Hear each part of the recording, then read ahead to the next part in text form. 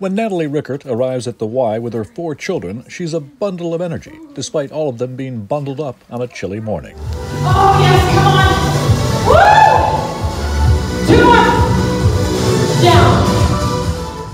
She's even more of a bundle of energy in her own body pump class. Teaching body pump is something she always wanted to do. I love doing body pump and I did it for about a year and then I um, just thought that I would like to try to help other people and I enjoyed it so it gives me a little bit more motivation too when I'm up in front of everyone.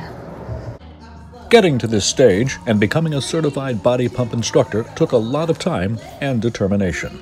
So we had like a, a whole full weekend, two days of training with a uh, master instructor, and then we uh, take our class and videotape ourselves and send it in, and they will tell us if we are certified, able to teach.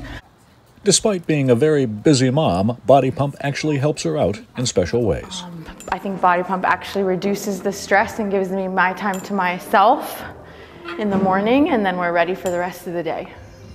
At the end of class, seeing her students make progress reaching their own fitness goals gives her a special feeling, knowing she's made a difference in the lives of others. Uh, when I get done with my class, I want everybody to leave feeling energized, feeling like this is a good part of their day, something they look forward to, even though it's hard.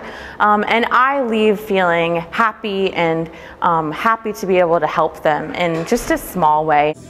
And that small way has led to big results, not only for Natalie, but for all of the people who follow her lead. Doug Walker, reporting for your YMCA.